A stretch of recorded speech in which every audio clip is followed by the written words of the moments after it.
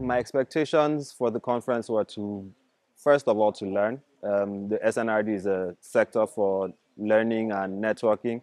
And so just to see what is going on in the food and nutrition sector in GIZ, all the interesting work that's being done by GIZ, and to see what, yeah, to see what, what we could learn and take home and practice as well.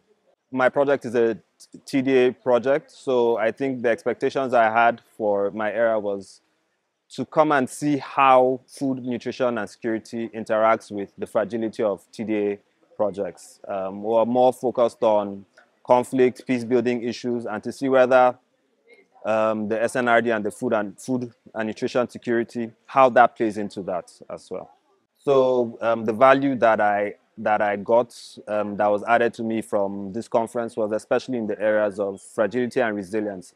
We are a TDA project that works on fragility, conflict resolution, but we didn't have a resilience analysis. So at this conference, I was able to understand what resilience analysis was and to even develop a template for resilience analysis that is very helpful. I think it helps us to really take in the other indicators and factors that we might not have thought of initially as a TDA project to really put on SNRD lenses to look at this problem and to include new topics like you know nutrition indicators and all of those. So um, like we're talking about integrated approaches. So I think it really opened my eyes to just how integrated these approaches could be, starting with us being intentional about integrating our approaches. Um, I think the value that we added to this conference was the, the different perspective. Um, a lot of people here are in the SNRD network, food, nutrition, climate issues, while I'm coming from a transitional development assistance project that looks more about peace building, social cohesion issues.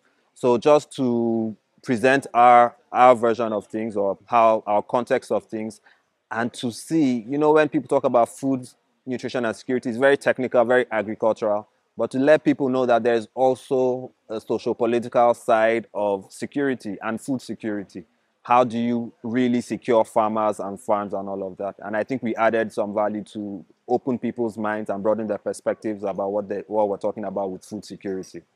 If I had a magic wand, I would create organic inputs on a large scale because I think that's one of the major challenges we have. Um, we're too used to synthetic chemicals and um, fertilizers and the rest. And yes, we know we need to transition but how do we do that on that scale? So if I had a magic wand, I think that would be a major issue. How do you provide organic inputs for these farmers so that they actually have a viable alternative that they're willing to run with, that is not expensive, but that also gives them good results?